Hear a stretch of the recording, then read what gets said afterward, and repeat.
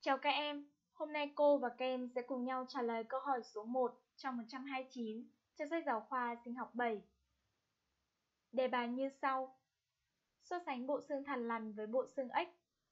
Để trả lời câu hỏi này, các em hãy nhớ lại phần 1 lớn, bộ xương, trong bài 39, cấu tạo trong của thằn lằn, trong sách giáo khoa sinh học 7 trong 127.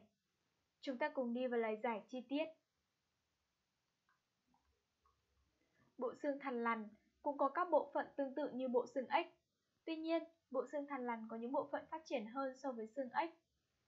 Thứ nhất là đốt sống thân mang xương sườn, một số kết hợp với xương mỏ ác tạo thành lồng ngực để bảo vệ nội quan và tham gia hô hấp.